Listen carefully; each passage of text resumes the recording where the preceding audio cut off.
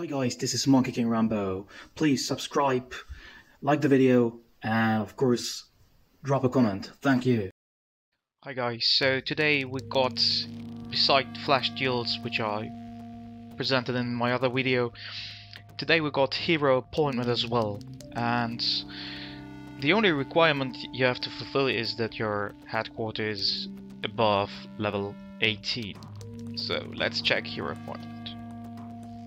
Hero appointment has three position bonuses. That's the armchair strategist, the flag bearer, and the vanguard. The vanguard is for reservoir raid and reservoir raid league. Um, that will take you a couple of days till it's unlocked. Flag bearer is for rally leads.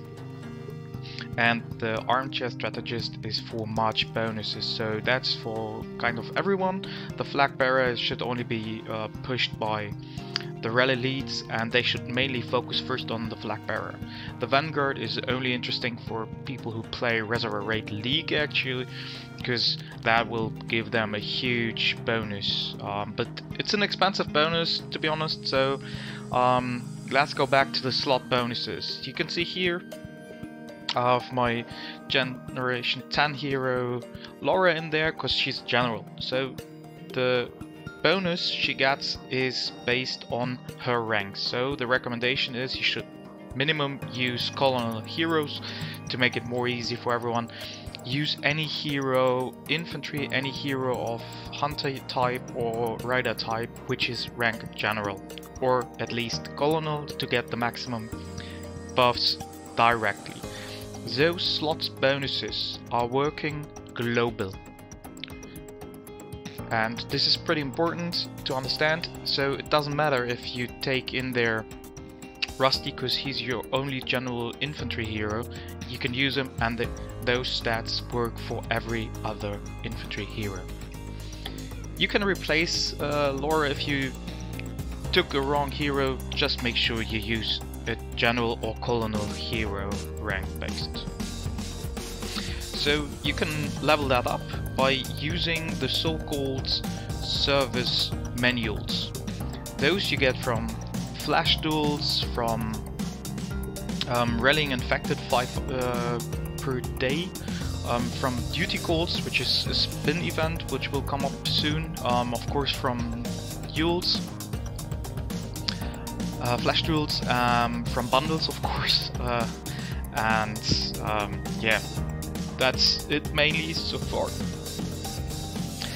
After 10 levels, you have to use something that is called service badge. I'll just show you now. Um, this example, uh, this looks like uh, this, it's a service badge you can also get from um, a patch source uh, you can get from duty calls from the top up event which is uh, right now running I can show that to you as well this is the limited time top up uh, where you get a lot of those service badges um, that's a rare source, so coming back to the hero appointment, do not use it to unlock anything. This is not really recommended. If you play Reservoir Raid League and you have unlimited cash, you can go for it, but for everyone else, do not use it for unlocking Flag Bearer or Vanguard. Um, so you need to level the previous one up to 20, therefore you need for the first 10 um, the service manuals, uh, those ones, but at the 10th level and at the 20th level you need the service badge. That is why I don't recommend them to use to unlock any other slot. You need just to wait. For the first slot at Flag Bearer you need to wait 24 hours, so now it's just 13 hours uh, left. And for the second it will be 48 hours you have to wait. Or you use two service badges. Still, I won't recommend it that are mainly the information I can directly share you. Um, the slot bonuses you can level up to level 40 as you can see here. So you can increase your stats by 40% if you level them to the max. And of course position bonuses are also there. So the maximum position bonus you can get from Armchair Strategist is plus 10% on Hunter, plus 10% rider and plus 12% on infantry health. of course, uh, you need to have it maxed to get those position bonus. And for Flag Bearer, which is pretty important for rally leads, um, yeah, you get up to 13.5%, and for Vanguard, which is again only re uh, relevant for Reservoir Raid and Reservoir Raid League, um, you can get additional 12% bonuses. So I hope this helped you to understand the hero appointment